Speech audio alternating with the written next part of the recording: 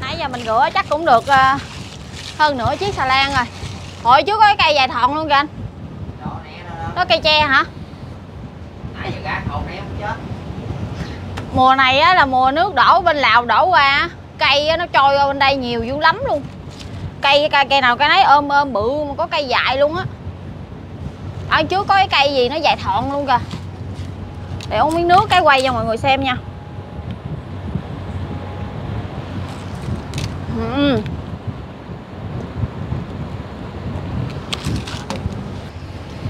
cái cây gì mà nó dài thòn lọn luôn nè?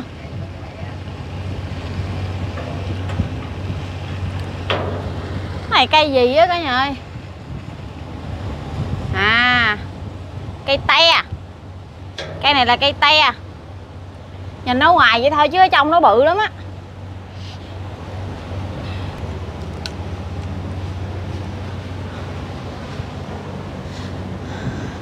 Có một lần á, ngân nhớ là bể đập ở bên lào á. Xà lan ngân đi, xà lan nổi về về nè. Nó cán cái cây mà, không biết cái cây nó bự nó nhỏ mà nó cong luôn cái chân vịt nó nó làm một cái đùng. Cái chân vịt mình nó cong luôn. Bây giờ đi lên đây mà thấy mấy cây đó là né, sợ lắm.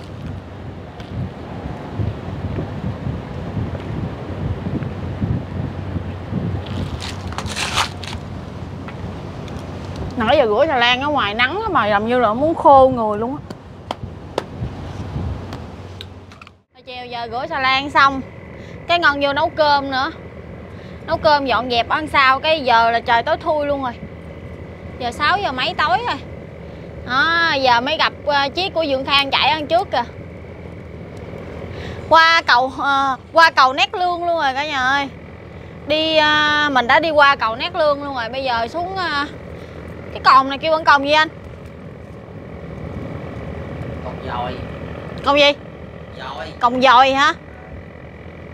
Dơi phải không? Gạch dơi hả? Dơi múc cái kia kìa. Ờ lên dơi hình như gạch dơi nằm dưới kia á. Mà đèn quay dòi. Ngân đi tới chỗ cái cồn ở chỗ này nè. Cái cồn này á, cái cồn này cạn lắm á. Cồn này có thể gọi, người ta gọi là cồn tắm luôn á. Mà cồn dồi ha, cồn gì đó Ngân quên rồi. Đi tới cái cồn ở chỗ này luôn mới gặp. Mới gặp ờ, chiếc của Dượng Khang Bây giờ Ngân bới tô cơm lên ăn luôn rồi nè. Trời tối thui luôn rồi. Mệt quá cả nhà ơi, bới tô cơm ra trước mũi Ngồi nghỉ mệt xíu cho nó mát mát Chứ giờ là cũng ăn chưa nổi nữa.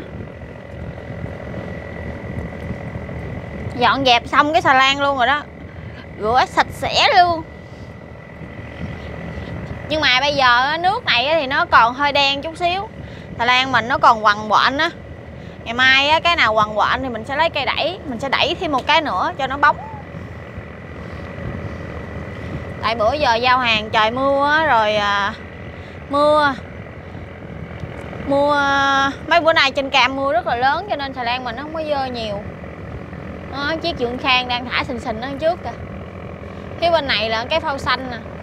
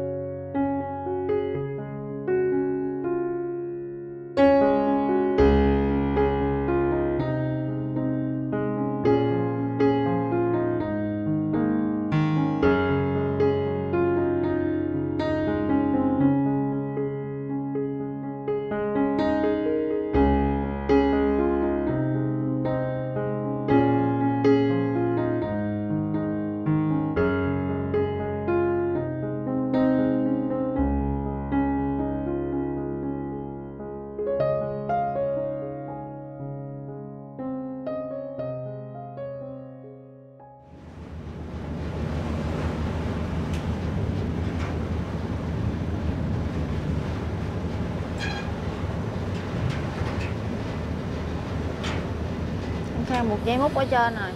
Ừ, chiếc dưỡng khang đang cặp bến ở trong kìa.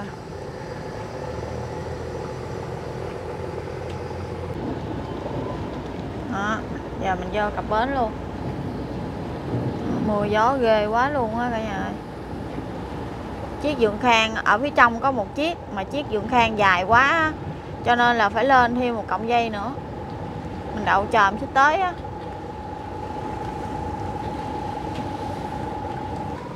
Đa phần vậy tới đây ban đêm rồi vô cặp bến thôi cả nhà ơi.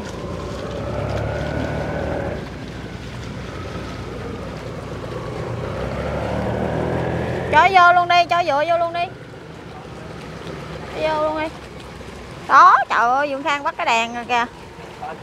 Quá trời xá luôn.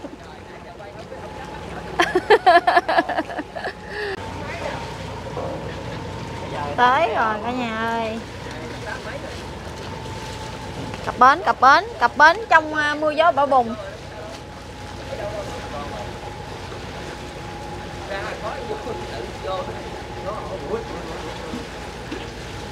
Gần tới ông làm cho dài nhạc sao đâu phải đừng lên ga là giờ này đi đó đi vô nè. Nãy vừa có lên ga hả? Ờ thôi điện đó lên. Tại chỗ nè. Hả chưa chị trơn à Ờ, hôm nay đi không gắt có không vô tiền gắt lẻ tiền gắt lẻ dạ gắt. Ờ, ờ, cái rồi ờ, ờ, chạy ngàn mốt luôn á. Mà tính về xuống đây là gần 10 tiếng đó rồi ra sao buộc dây lái luôn. Trong cục trong đậu chứ chậm lên gần 10 à, dượng về gần 10 tiếng hả? Ờ chứ rồi á. Mà chạy ngàn mốt. Trời ơi không sao đâu có, có, đâu có ai đâu có mình mình mà sợ gì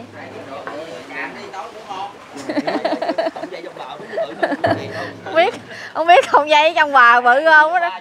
Đâu ké mà, mà một hai cộng biết. Chạy đậu chậm lên quá. Thấy thật xuống dưới đấy. Giờ qua tới nhà bên kia luôn rồi. Sao đâu ấy? Giờ này điện bò leo núi nè. À, dưỡng sao đậu ké mà dưỡng sao buộc năm sáu cộng dây kìa. Đậu ké với xà lan bự mà buộc dây thấy sợ không? Ăn vậy mình biết mình vô trước. Phải có cây cũng bự quá trời luôn. Giờ mưa lớn luôn rồi. Giờ đi ra sao thôi cả nhà ơi. Xà ăn đậu rồi? Trời mưa tầm tã mọi người xem trong camera thấy mưa lớn không đi vô mấy nè. Ừ, su su.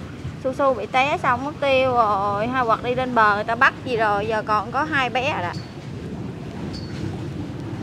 đó xà lan ngon đã cập bến rồi. đi xích vô té bây giờ. Xà lan ngon bây giờ đã cập bến rồi. Kim Ngân ờ, xin tạm dừng video tại đây nha. Hẹn gặp ông bà cô chú anh chị vào ờ, những video tiếp theo nha.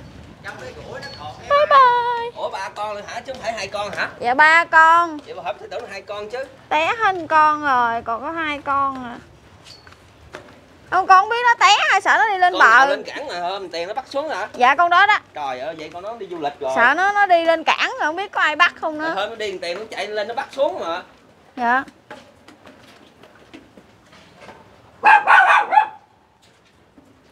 Vô con. Chứ chạy vậy mà bột được ghê không? Kìa trời ơi. Đó chạy mà dám bột đậu với đó không ghê không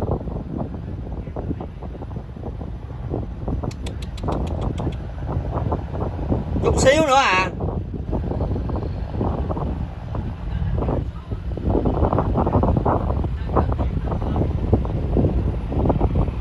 Trời ơi những cái trên chạy xuống dưới này đã bọc đầu nó dám bọc ờ, uh, bột đầu cái chiếc làng cát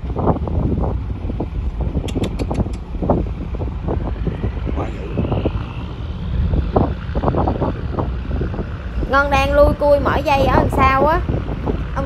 Ông kêu giật ngược giật hai luôn mà chạy lên không kịp. Cái chiếc xà lan cái viền đỏ đỏ này là xà lan ở trên Campuchia về.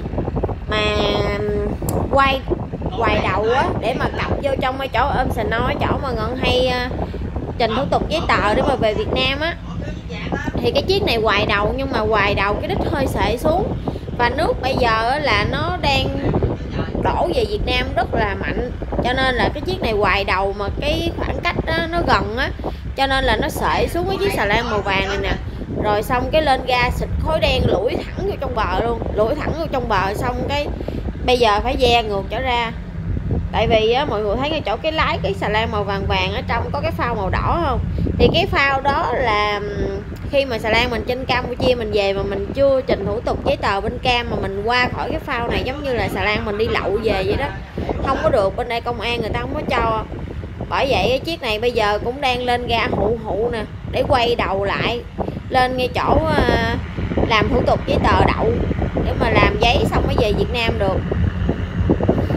Mùa nước đổ này mà chạy mà kiểu như mình ý y y, á mình không có coi trước coi sau là nó tấp nó tấp ở xà lan ở dưới ghê lắm cả nhà. Chiếc này hình như là cũng ờ, ba ngàn ba ngàn rưỡi gì á. Mấy cái xà lan này người ta chở sắt nè chiếc này bự lắm.